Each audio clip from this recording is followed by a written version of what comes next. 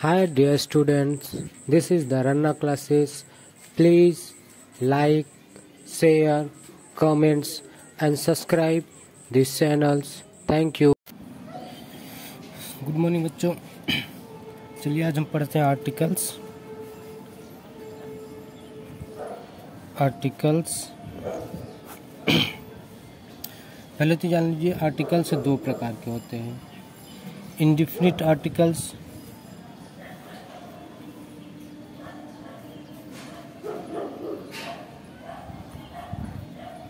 Indefinite articles और definite articles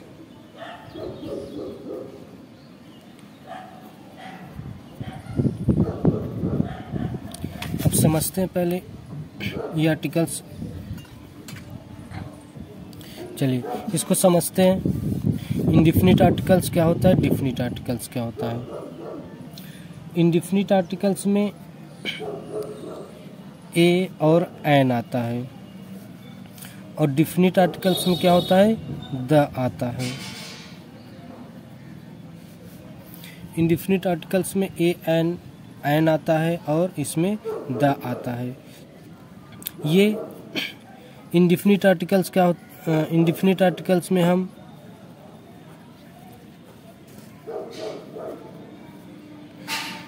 indefinite में हम क्या करते हैं? इसमें आता है vowel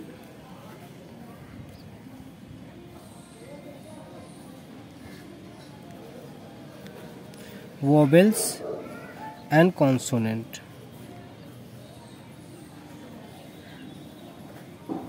consonant अब वॉबल के लिए हम क्या यूज़ करते हैं? वॉबल्स के लिए हम एन का प्रयोग करते हैं। वॉबल्स के लिए हम एन का प्रयोग करते हैं। यह लिख दीजिए। Use of an and consonant के लिए क्या उपयोग करते हैं?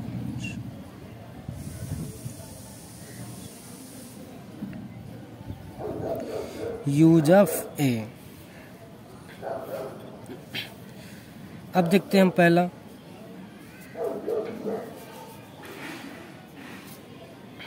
ये हो गया। वॉबल्स के लिए एन का प्रयोग करते हैं और कॉन्सोनेंट के लिए ए का प्रयोग करते हैं। अब इसमें कुछ क्या इंटरनेबल इंटरनेशनल लेवल के हिसाब से साउंड का भी यूज़ करते हैं क्या? हमको एक भी, ये भी ध्यान देना है क्या? साउंड के हिसाब से। साउंड के हिसाब से भी हम क्या करते हैं? यूज़ का ए एन का प्रयोग करते हैं। साउंड के हिसाब से ए एन का यूज़ ये हम तीन चीज़ें देखेंगे। पहले इनडिफिनिट आर्टिकल्स इनडिफिनिट आर्टिकल्स में ए एन आता है। और डिफिनिट आर्टिकल्स में क्या आता है? द आता है। और एक मेन पॉइंट होता है जो क्या? साउंड के हिसाब से। साउंड के हिसाब से भी क्या यूज़ होता है? आर्टिकल्स जैसे ए का देख लेते हैं। यूज़ ऑफ़ कॉन्सोनेंट पहले देख लेते हैं।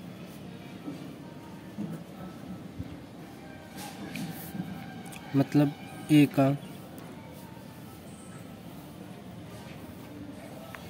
यूज़ ऑफ़ ए जैसे हो गया हमारा। ये ट्वेंटी वन होते हैं।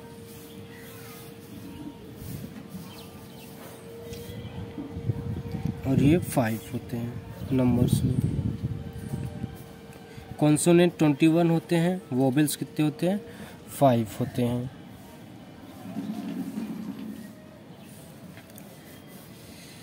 जैसे देखिए, इसमें रहेगा कॉन्सोनेंट में क्या आएगा? जैसे एक cow. A dog.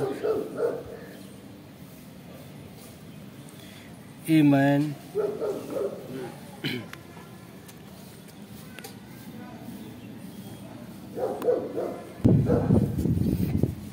A boy.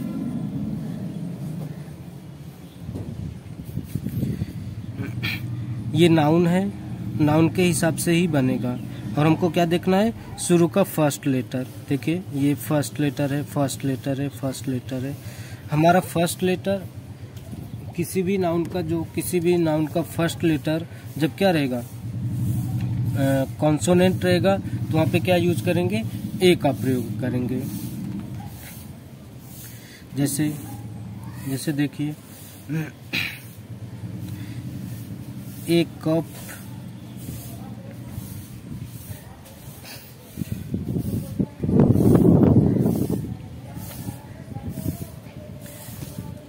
a pen a ship a jug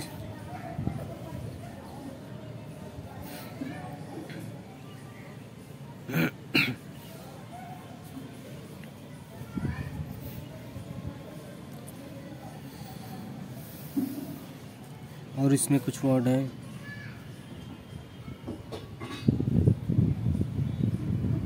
A fat man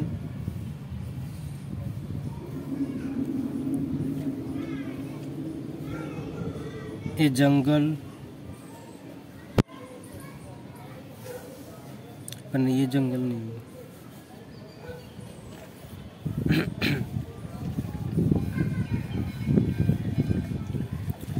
A peacock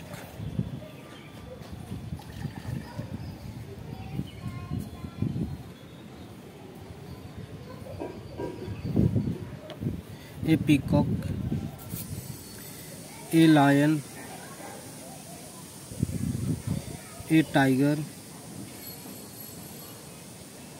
a bird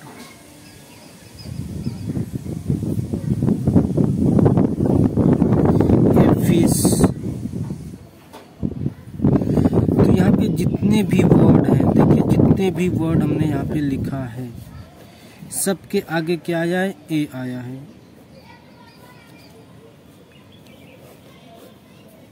क्या आया है? ए आया है। क्यों? क्यों आया? क्योंकि हमारा ये फ़र्स्ट लेटर जो नाउन है, ये नाउन है। नाउन प्रोनाउन आगे बताएँगे। ये जो नाउन है, जो नाम है, किसी का भी नाम है, ये सब नाम है। काऊ नाम ही है डॉग नाम है मैन नाम है बॉय नाम है कप नाम है पेन शिप जग ये सब क्या है? एक नाम है। तो जितने भी नाम होंगे, जितने भी नाम होंगे, उसके आगे क्या आएगा? ए आएगा। जितने भी नाम होंगे ए आएगा। जितने भी नाम होंगे, क्या आएगा? ए आएगा। देखिए, शुरू का लेटर क्या है? सी है। ए आया। शुरू का लेटर पी है। ए आया। ये वैसे ही कॉन्सोनेंट है। शुरू का लेटर क्या है? एस है। ए आया। शुरू का लेटर क्या है? जे जंगल। ए आया। शुरू का लेटर एफ़ है ए आया। शुरू का लेटर पी है ए आया। शुरू का लेटर ए है ए आया। तो जितने भी नाउन का फ़र्स्ट लेटर होगा या नाम का पहला अक्षर होगा, उसके पहले क्या आएगा? ए आएगा। क्योंकि ये क्या है? कॉन्सोनेंट है। अब हम देखते हैं एन का प्रयोग। अब देखते हैं क्या? एन का प्रयोग। एन मीन्स वोबल्स का।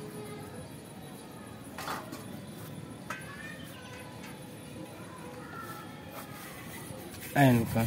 ये कितने होते हैं? फाइव लेटर होते हैं। कौन कौन सा होता है? ए ई आई ओ यू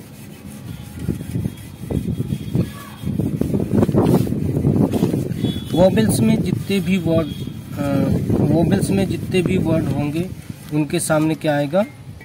एन का प्रयोग आएगा। जैसे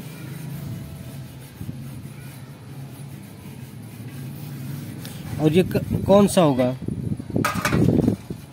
फ़र्स्ट लेटर होगा किसका? नाउन का। फ़र्स्ट लेटर होगा किसका? नाउन का।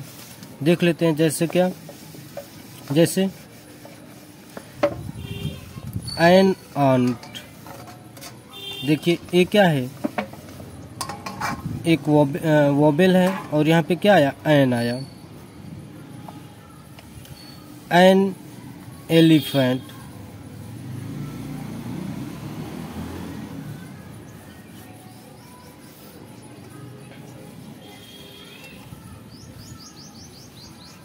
An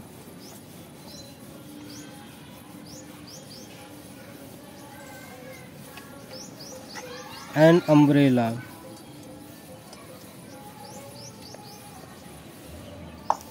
an egg.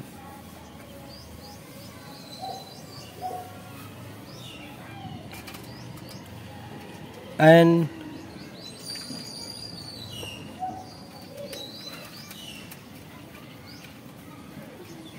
and ink.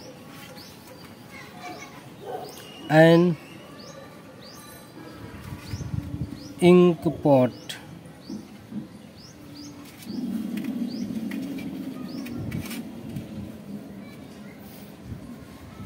and iron. And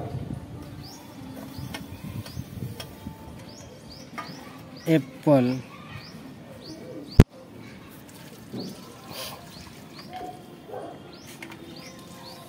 And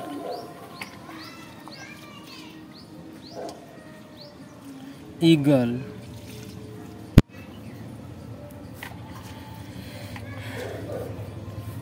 तो देखिए, जितने भी वर्ड हैं, जितने भी वर्ड हमने यहाँ पे लिखा है, इन सब के आगे क्या आ जाए? एन का यूज़ हुआ है। एन का यूज़ क्यों हुआ है? क्योंकि ये जितने भी वर्ड हैं, वो क्या है? वॉबल्स हैं। और वॉबल्स का यही नियम है कि जितने भी वर्ड के वॉबल्स होंगे, उनके आगे क्या लगेगा? एन आर्टिकल्स लगेगा। अब देखिए, कुछ साउंड के हिसाब से साउंड के हिसाब से ए और एन का प्रयोग कैसे करते हैं? साउंड के हिसाब से use of a and an.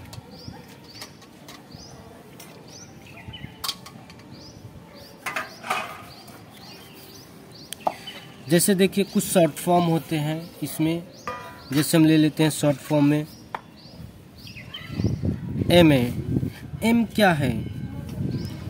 M एक कॉन्सोनेंट है एम क्या है? यह एक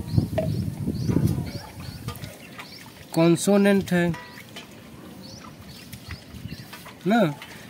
एम क्या है? एक कॉन्सोनेंट है, पर इसका इसका उच्चारण कैसे हो रहा है? देखिए, हम हिंदी में लिखते हैं पहले इसके। क्या? इंटरनेशनल लेवल पे यही होता है कि हम साउंड के हिसाब से साउंड के हिसाब से क्या लगाते हैं? ए एंड एन का प्रयोग करते हैं। जैसे एम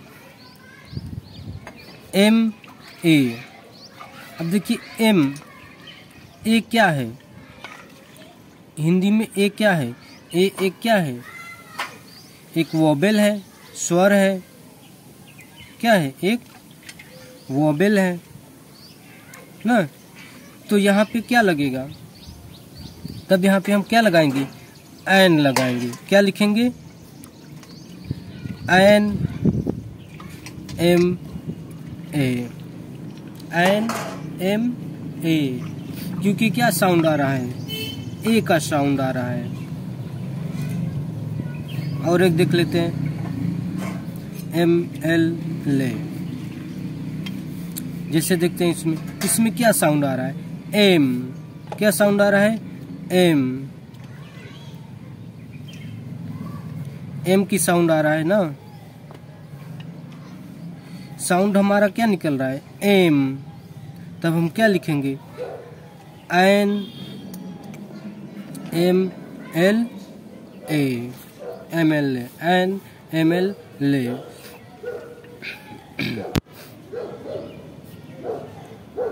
जैसे देख ले एम, बी, ए। इसमें साउंड क्या आ रहा है? एम। तो यहाँ पे क्या रहेगा? एन एम बी ये। अब कुछ और देख लेते हैं, जैसे बी ए का देख लेते हैं। बी ए, वैसे भी बी का साउंड आ रहा है तो यहाँ पे क्या लगेगा? ए लगेगा। बी कॉम यहाँ पे क्या साउंड आ रहा है? बी का आ रहा है। क्या साउंड आ रहा है? बी का। बी क्या है? कॉन्सोनेंट है। बी क्या है? कॉन्सोनेंट है। तो यहाँ पे क्या लगेगा? A B com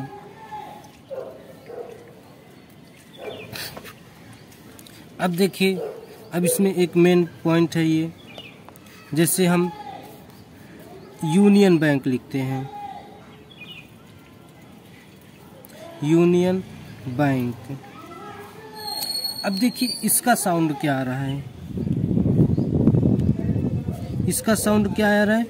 you U का साउंड आ रहा है। तो यू का साउंड आ रहा है तो हम क्या लिखेंगे जब यू का साउंड आ रहा है तो क्या लिखेंगे? ए यूनियन बैंक ए देखिए ए यूनियन बैंक ना? तो क्या हो जाएगा? ए यूनियन बैंक ये यू क्या है? यू क्या है ये? यू क्या है ये? कॉन्सोनेंट है। यू क्या है? सॉरी यू क्या है? वोबेल है। यू क्या है? वोबेल है। बट हमको जो साउंड मिल रहा है, किसका मिल रहा है? कॉन्सोनेंट का। जो हमको साउंड मिल रहा है, वो किसका मिल रहा है? कॉन्सोनेंट का। तो हम क्या यूज़ करेंगे? यू देखिए यू यू आ रहा है। तो क्या हो गया? ए यूनियन बैंक जैसे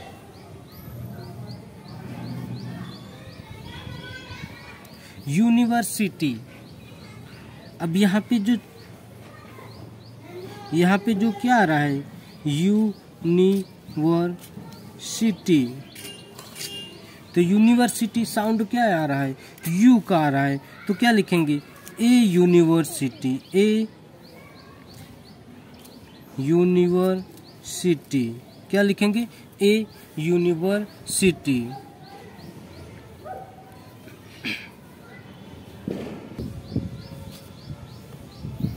अब इसमें एक और देख लेते हैं। यूरोपियन।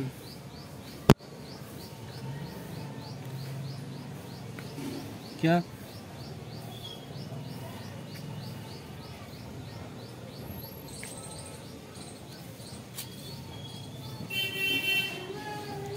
यूरोपियन। देखिए, यहाँ का वर्ड स्टार्टअप वर्ड क्या है? ई है। यूरोपियन, ये यहाँ पे ई साइलेंट है। स्टार्टअप वर्ड हमारा क्या है? ई है। स्टार्टअप वर्ड ई है, पर यूरोपियन क्या यूज़ हो रहा है? यू प्रोनाउंसिएशन क्या आ रहा है? यू आ रहा है। तो हम इसके आगे क्या लगाएँगे? A European a European a European pronunciation के हिसाब से क्या आ रहा है? हमारा साउंड क्या निकल रहा है? U, European. A European man. या Jackie is an U a European. Jackie is a European man. तो यहाँ पे क्या? ई आ रहा है। ई हमारा क्या है? वॉबेल है। पर साउंड के हिसाब से इसका यू आ रहा है। European man. क्या? European man. तो यू, साउंड के हिसाब से हम क्या लगाएँगे? ए लगाएँगे। अब सेम इसी तरह से, देखिए इसमें इसमें भी एक और रहेगा। जैसे हॉनेस्ट।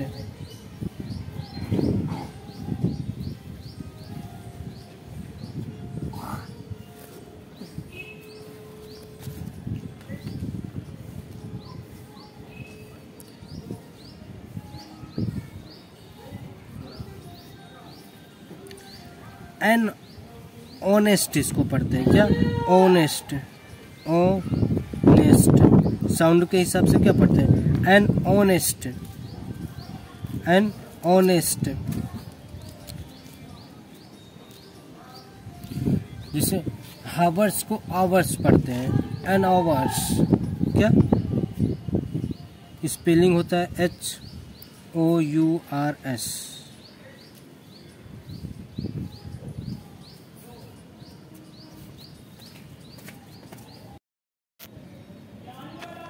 चलिए देखिए, अब डिफिनिट इनडिफिनिट आर्टिकल्स में कुछ साइलेंस वर्ड भी हैं, उसको देख लेते हैं। जैसे हमने तीन वर्ड लिया है यहाँ पे साइलेंस वर्ड्स और इसके आगे एन का यूज़ होगा। है क्या है ये? कॉन्सोनेंट क्या दिख रहा है? कॉन्सोनेंट एच एच एच क्या दिख रहा है? एच क्या है? एक कॉन्सोनेंट है। पर इसको क्या हम यूज़ करते हैं? वोवेल्स में यूज़ करते हैं, इसको समझते हैं। देखिए an honest man an honest man पढ़ते हैं। क्या पढ़ते हैं इसको? Honest man honest honest honest sound के हिसाब से या कहिए या साइलेंट इसमें एच साइलेंट है। तो ऑनेस्ट अब ऑनेस्ट में क्या आ रहा है? ओ आ रहा है। ओ ओ हमारा क्या है? ओ क्या है? वो एक कौन वोबेल है। वो क्या है? वोबेल है। और ये एच क्या है? कॉन्सोनेंट है। तो हम साउंड के हिसाब से क्या करेंगे? एन का यूज़ लगाएँगे। An honest boy. An honest boy. तो ये क्या हो गया हमारा? ये वोबेल्स हो गया। देखिए, एन ऑनर्स। ऑनर्स है। तो यहाँ पे क्या हो रहा है? ओनर्स साउंड किसका आ रहा है? ओ का। ओ क्या है? स्वर है। ओ क्या है? स्वर है। मतलब वोबेल्स है। तो हम यहाँ पे क्या यूज़ करेंगे?